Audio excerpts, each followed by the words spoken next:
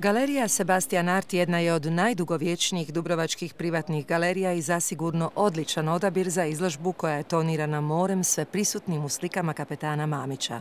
Ipak zanimljiva izložba je kako domaća, tako i međunarodna. Ono što je tu zanimljivo da je de facto uh, gospar Stjepko Mamić e, zajedno sa e, gospođom Araki i gospođom Sid Bon Mendel izlagao u Grand Palais u Parizu u veljači ove godine i ova izložba je na neki način memento, odnosno omaž te izložbe u Parizu i on ih je pozvao u Dubrovnik, tako da u stvari je u stvari osnova ove izložbe je prijateljstvo, dakle između troje umjetnika. Morska fauna Yoshia Raki s tradicionalnim japanskim potezima i skulpture Miriam Sidbon Mendel zaintrigirale su posjetitelje.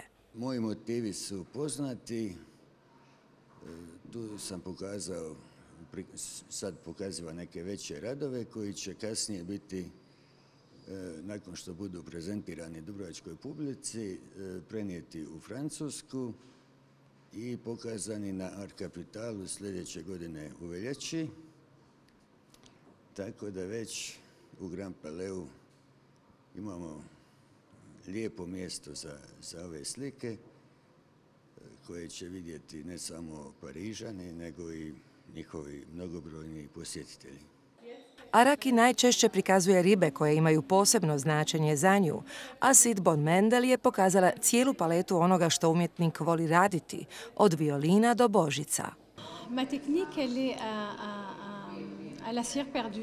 Tehnika su bronca i vosaka. Za svaki komad, svaku skulpturu bila je potrebna jedna ili dvije godine rada od zamisli do realizacije.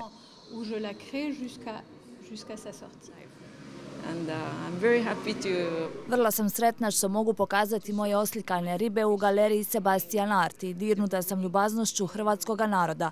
Jako mi je drago biti ovdje. Slikam skoro istovremeno nekoliko slika, a kako su to ulje na platnu, radi malo ovdje, malo tamo i tako se dvije ili tri slike stvaraju u isto vrijeme.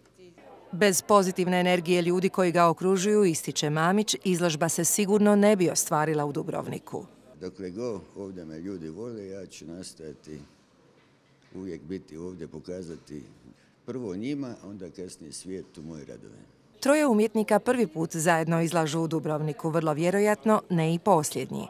A za sve zainteresirane, izložba ostaje otvorena do 25. rujna.